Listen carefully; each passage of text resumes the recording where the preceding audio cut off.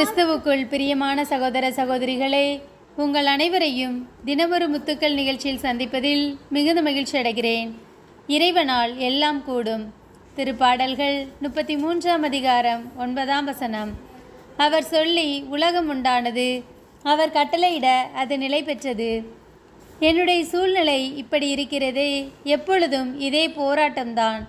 எப்பொழுதுதான் மாறும் இந்த நிலை என்று அங்கலாய்க்கும் தேவ பிள்ளையே உன் சூழ்நிலையை மாற்ற இயேசுவால் கூடும்.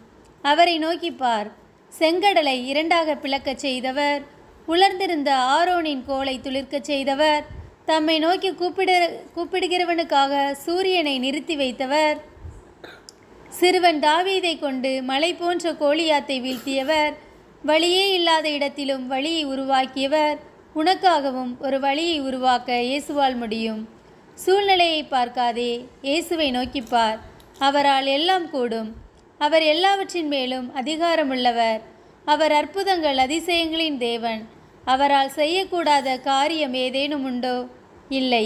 இறந்த நான்கு நாட்களான லாசருக்கு உயிர் கொடுத்த வல்லமை இன்று உங்கள் வாழ்விலும் உள்ள பிரச்சனைகளை மாற்றி உங்களை உயிர்ப்பிக்க முடியும்.